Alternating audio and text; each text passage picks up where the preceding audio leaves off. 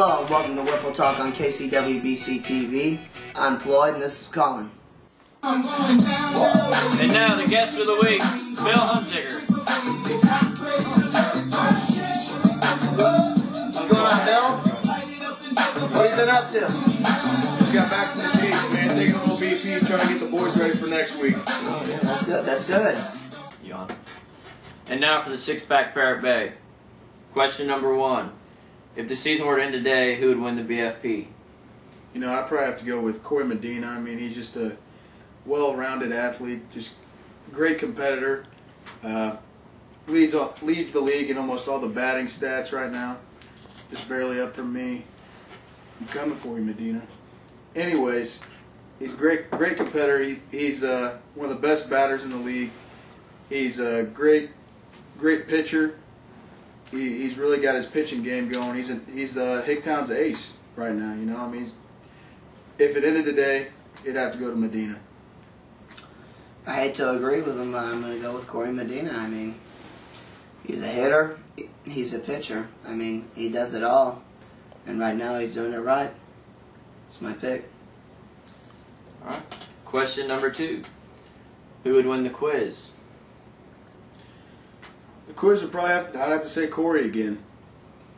He's, I mean, if you look at the stats, I mean, Gray, he hasn't pitched as many innings as me right now. I mean, I'm leading the league right now in strikeouts. But uh, I pitched a few more innings. Gray, he's got some guys out there to help him out, but uh, out in the field. But you know what can you do?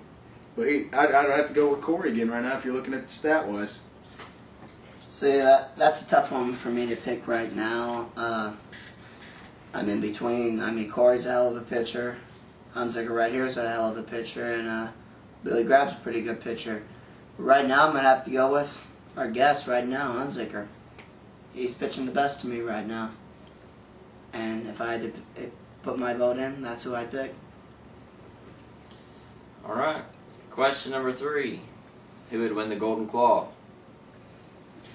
Golden Claw, now that's a tough one, you know. I mean, we've got a Schooley. Schooley, he's up for it, man. I mean, he's he'll be diving into cages up on the wall. Every he'll he'll rob you, man. I mean, he he doesn't care. I mean, whatever it takes to get to the ball, he'll get there to it. You know, it's it's a toss up between him and Hick or Hicktown uh, Clint Fassey. Clint Fassey's won it the past two seasons in a row, and you know it, you hit it to his side. You hate to hit over to either one of them because you know nine times out of ten, if it's even remotely, it doesn't have to be routine. They're going to Top catch flies it. are done. Yeah, you might as well not even walk to the base. They're done, son. I, I would have to go with Clint or Jesse. I don't know. That'd be tough. Well, I'm gonna go ahead and make the safe pick right now. Schooley had a hell of a run at the beginning of the season, but here at the end of our first half of the season, he's kind of struggled. So I'm gonna go go with the safe pick and the usual pick, Clint Fassey. Question number four. Who will win the Cherry Award or Rookie of the Year? You know, last year I had a play with balls deep. Joe Godera took it. Uh, I'm sad to say he's not with us this year. But right now, I'd have to say it's between SoCo's Pritchett and uh, I'd probably have to go with Joey with Hicktown Bombers. They both uh, Pritchett is he's uh, he's doing good with the bat with the deep ball. You know, he's just he's got to get his, his batting average up a little bit if he wants to compete with Joey right now. And Joey needs to do what Pritchett's doing, get the get the long ball going right now, and it's going to be a run to the end. I mean, it's there's a lot of new guys this year. We'll see what happens, but I'm going to have to go with probably Joey. Question number five. Which team has surprised you the most to this point in the season? You know, I'm going to have to go with the the young rookie team, SoCo. I mean, they they beat some good teams. They've they've tied one of the teams that's been to the the championship twice in a row the past two seasons that we've had the league, and they're just very deceiving. I mean, a lot of teams go in there looking to just walk all over them, and they don't let it happen, man. They they're always in every game they play, and they're just they're in every game. Uh, I'd have to go with SoCo. Yeah, I like the Young Bucks, but I'm gonna go with Green Machine. I mean, they have a different player on their team every week, whether he's on his motorcycle getting rained out or we got someone with grease all over his hands. It doesn't matter. They come, they're consistent, they play hard, and they win games. I'm gonna go with Green Machine. Question number six. Which team has been the biggest disappointment so far? The biggest disappointment this far, I'd have to go. I hate to say it, but I mean, my team we started off three and zero to start the season. There, we had a lot of high expectations. I mean, this is our third season into the league. I'm expecting a lot more out of, of balls deep. My own team. I'm not trying to downgrade anybody or any player on my team, but we need to step up and, and start playing because whatever's going on right now, and we're on a seven game losing streak. It's embarrassing more than anything. And I think a lot of people expected us to be at least the leader of the division of the South, or at least a runner up right now. I'm going to have to go with balls deep. I'm gonna go with the Woodcocks. I mean, they got a lot of potential, but they sure don't know how to use it. I mean, every week they get either get frustrated and just completely screw up a game, or they just don't seem to know what they're doing. They got a lot of potential. They got good players, but nobody can tell what they're doing. That's it for the six pack. Any other thoughts you got, Bill?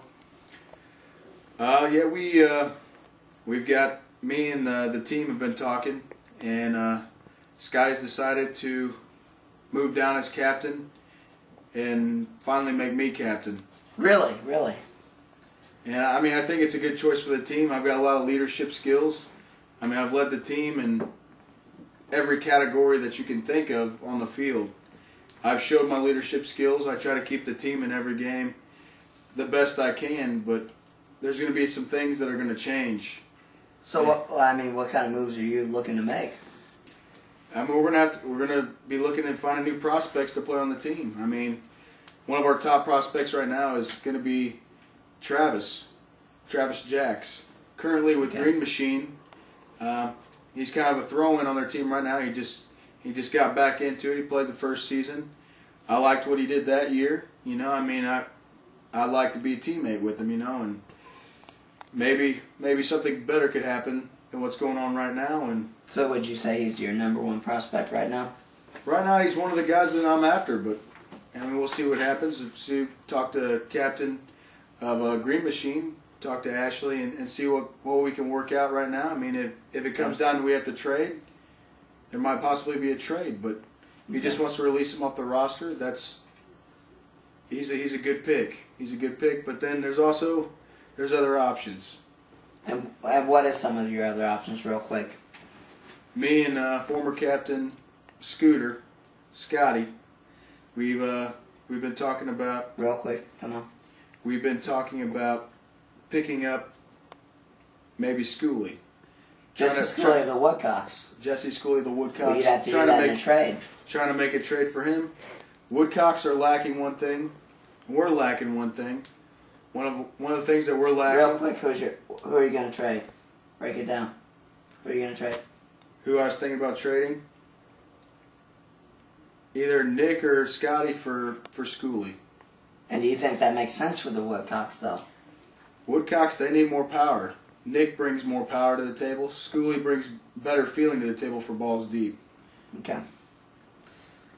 Well, we'll, we'll see how this will work out. And uh, Something's going to happen different, though. We've Okay. lost seven straight. We got to do something. okay, looks like Ball Deep wants to make some changes. Thank you for tuning in to KCWBC TV. And a th- special thanks to Big Bill Hunziker. I'm Floyd. This is Colin.